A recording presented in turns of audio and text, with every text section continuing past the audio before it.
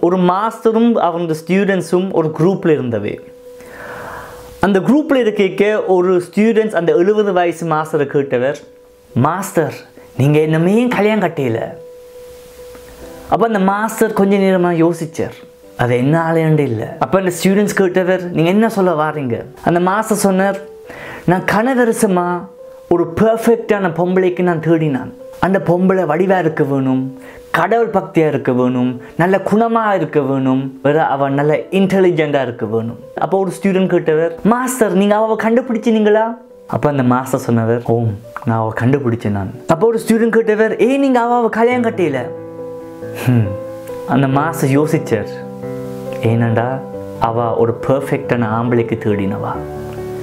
இந்த அன்பான மக்களே நாங்கள் நடுக்க ஒரு பிளவு விடுறோம். ஒரு பர்ஃபெக்டான நேரம் இல்லை கல்யாணம் கட்டுறதுக்கு. ஒரு பெர்ஃபெக்டான பர்சனும் இல்லை ஆனால் ஒரு பெர்ஃபெக்டான முடிவுண்டு இருக்கு.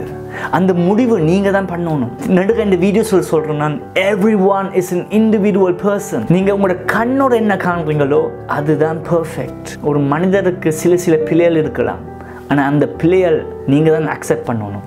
ஸோ நீங்கள் எந்த முடிவு நீங்கள் பண்ணுறீங்களோ அதுதான் perfect So there is no perfect man there is no perfect woman சில பேருக்கு சில சில விஷயங்கள் இருக்கலாம். ஆனால் நீங்கள் உங்களோட கண்ணோட எப்படி பார்க்குறீங்களோ அதுதான் பர்ஃபெக்ட்